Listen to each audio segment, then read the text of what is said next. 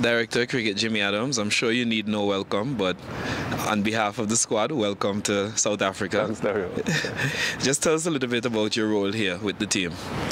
So it's, it's, it's, a combination of a few things. Initially, the, the long-term goal, uh, once, especially once we realized that we're going to have two new white ball leaders coming to South Africa, uh, it's the first time that we have separated these roles, and I thought that it was important to be here to meet up with both of them in, in one venue. So there was always a plan to come to South Africa with that as one of the priorities. Um, I also wanted to spend some time with the white ball players and, and just get a feel for what the next 12 to, to 18 months would hold given we have World Cup qualifiers, hopefully a World Cup in October and then a home World Cup next year. So to start a lot of conversations between um, myself, themselves, uh, which would eventually stretch to selectors, coaches, so that we, we can get a really good view on what they, what they, I guess what the big picture looks like in terms of what players have planned. Um, there's a lot of cricket being played around the world these days, and there have been times uh, I, I can say that I think we have been caught out a little bit with not being prepared early enough for players' workloads. So that was one of the, the, the big priorities. And then obviously with um, regular communication with Andre Coley, the head coach, and his team in Zimbabwe. Um, some feedback came in that they were short on the ground. They, they wanted some more help, assistance on the ground, um, more from a, a, a, a batting perspective. So we had meetings with, with uh, the coach, captain, and um, our high performance people in, in Antigua. And the feeling was I was already coming here um, so that we could sort of kill all those birds with one stone. So I'm here sort of assisting Andre as well, um, focusing on batting. Um, but also to, to really spend some quality time with all the players, not just the white ball players, but I've, I've had uh, quite a few conversations with um, Kraigg and, and, and, his lads over the over the period, even during COVID. Whereas I think it's important with two new white ball captains to, to really, and, and I think to, to, to, meet up with them um, in in this sort of environment. Uh, I think is very helpful for me as well. Um, and just to spend some time with, with, with the the team, the support team that, that we have here as well. Uh, I thought you know, all of that would be a, a, good reason to be here doing what I'm doing now. So that, that's basically it in a nutshell. So it's evident that it's a dual role with mm -hmm. your work as director of cricket, yeah, yeah. but with your background in coaching as well and having been a part of a few sessions. Mm -hmm. How are you enjoying it? it's interesting. It's, it's, it's, always good spending time with players, and, and you know we've got a really talented group here. Um, the body's still getting used to it. Uh, I, I, think I'll survive just just about. Um, it's been a tough two days. Uh, the, the, the, guys are, we, have had some bad weather around, as, as you, you you're aware. But um, the guys are still working. We, we, spent quite a bit of time indoors yesterday uh, and again today. And um, yeah, all, all, the support staff putting in the hours, myself included. So it's, it's, trying to get the body used to doing some stuff that it hasn't done for, for a little while. And from an organizational perspective, uh -huh. how important do you think it is that you get this contact time, not only with the players, but with the management staff and experience the situation here on the ground? I, th I think it helps. I, I think, to be fair, we, we, we had a, we used to spend quite a bit of time with the, the, the guys, in the, especially in the Caribbean pre-COVID. I think COVID put a, a, a, a, stop to that for a while. And I, I, know it was one of the points that was raised by, by Justice Thompson in, in his review recently that, that that can't be allowed to continue any longer. We need to get back, myself, people like myself, or, high performance managers, the CEO himself. We, we need to, to, to, actually start going back to what we did pre-COVID, which was whenever we got an opportunity with the players to, to actually spend time and listen to them directly, um, preferably face to face.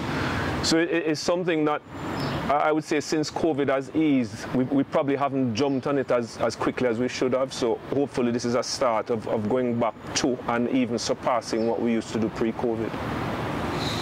And watching the Zimbabwe series from home and yeah. now coming into the setup, what are some of the positives that you're aiming to amplify? Some of the things that happened there that you want to see continue? Well, it's, it's listen, Dario. At, at, the end of the day, you're 10,000 miles away watching on a, on, a, on a screen. You know, so uh, we played good cricket to win the series. Um, I know rain sort of interfered in the, in the first test. We, we came away with a, a test win and a series win after the second test. I can only go with feedback that I've gotten speaking to head coaches, captains, people on the ground here. Everybody was fairly complimentary about the overall attitude, the, the work rate. Um, so the, the, the, responses have been really good, which is kind of what you want to hear on a tour. Um, but it, you know what it's like. It's, it's, it's one thing to to get second-hand reports. It's another thing to actually be on the ground, seeing, hearing, listening, watching, sort of close up within the team environment. So it's, it's, it's been good. Um, uh, an away win is an away win wherever you go in the world. Um, and I think uh, we also had some really good performances in Zimbabwe. Uh, young Chanderpaul, the captain, um, young Motie bowled pretty well.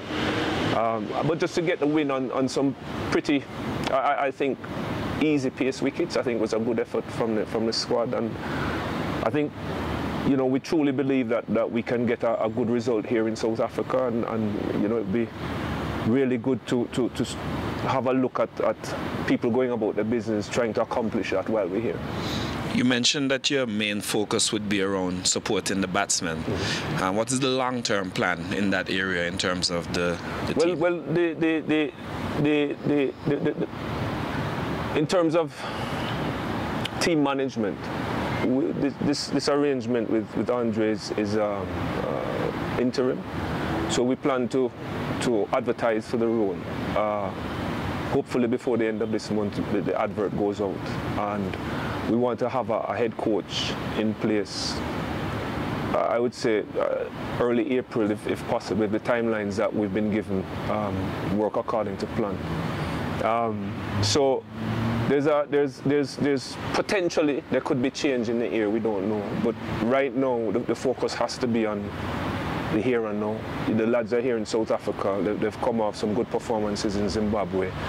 We're a team that we believe is getting better, and I think no better challenge right now than, than a team like South Africa, ranked above us. Um, but we, we, we really believe that we can get a result here from an organizational standpoint, you yeah. mentioned that impact time with the players will be very important going forward, and it's something that we used to do quite a bit before oh. COVID. Yeah, yeah. So just around the other representative teams of Cricket West Indies, um, what are the plans oh, there? Oh, well, I mean, it's, it's pretty similar. It's, it's, it's about getting uh, as much quality feedback as we can as an organization from the people on the ground. And, and like I said, I think across the board, the thing is, a lot of times because we have women in Antigua. They come to base because of their, their whole setup. Antigua is their base, so it, has been fairly easy to get access to them. Um, players, team management, uh, again, under 19s tend to be focused generally. The, the, tournament is in St. Vincent, but when we have camps and so on, we, we tend to localize them in Antigua, which, which sort of brings them to us, if that makes sense. Whereas for the senior men's, they're on the road all the time. But what is specific about what is happening here is that we have three tours in one venue. And eh, it was just a convenience. And I'm, I'm coming back specifically to, to this, what we're doing here now. It, it, it was just a convenience of having you, you, all your captains, your white ball players who there's going to be a bit of an overlap but also with, with the feedback from Zimbabwe to actually come and spend some time with the, with the test players as well. A few of the test players play across formats and again, just conversations on workload management, where, where do we go in, in the 6 to 12 to 18 months ahead for, for some of these individuals. Um, there's not just West Indies cricket to think about. A lot of them are involved in leagues around the world, and, and we're really keen to ensure that we get what is best, not just for the player, but for West Indies cricket as well. So I, I think having conversations like that face to face, I think are generally better than, than trying to do them on Zoom or, or over the phone kind of thing. But to answer your question, it's an approach not just for the senior team. Uh, you know, it's, it's something that we want to ensure that there is sufficient contact time with all, all the teams that, that come under the West Indies banner, all the support teams that come under the West Indies banner. Hopefully, just to generate the kind of feedback that will lead us to good decisions. So you mentioned that this is a holistic approach from Cricket West Indies in terms of ensuring that management gets some contact time with players. But obviously there are other representative teams um, throughout the Cricket West Indies system. Yeah. What is being done on those fronts? Well, it's a good question, Dario. I think I think one of the things that, that we, are trying to do is, is just create a, a you use the word holistic. I, I tend to use the word a, a, sort of feedback system, a system where we can give people who might not expect to get feedback, like feedback on the ground, so to speak, which we think is, is probably the, the, the, the most robust way to give feedback. So I'll give you an example. We had our, we, we've been giving as much support as we can to our, our newest West Indies team, um, which happens to be our under 19 women's team, newly formed. Uh, we've never done a lot of tour, any touring previously with our young ladies in the Caribbean. And we thought that they went to India late last year and, and, our high performance manager traveled with them, which was not just giving players support, but giving the support team support as well. Uh, we then followed that up with the under 19 Women's World Cup. Again, our coach education manager went on that trip for the same reason. The, the, the players have their support, but the support staff need support as well.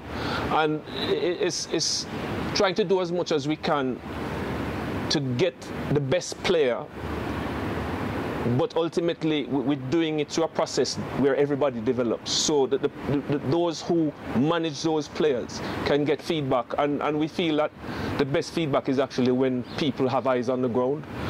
So in a sense there's, there's a little bit of that I guess here as well. I, I mean I, I, will give feedback as and when uh, it's appropriate you know.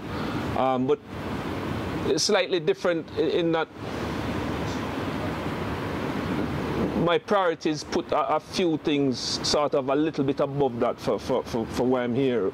But that is also a part of it. Um, and it's just trying to grow that culture of, of providing a, a, feedback mechanism, so to speak, so that it's not just players getting feedback. We, are part of a, a, bigger unit here that is to support people from all different walks who are we hope growing while the players are growing and, and, everybody needs good feedback in order to grow so it's, it's, it's part of a whole sort of developmental approach that spans just players and um, yeah hopefully as time goes on we can keep providing more and more support in these areas because we find at times that and, and, quite rightly so, the players are our product, and, and we want to make sure that that product is as, as robust as possible.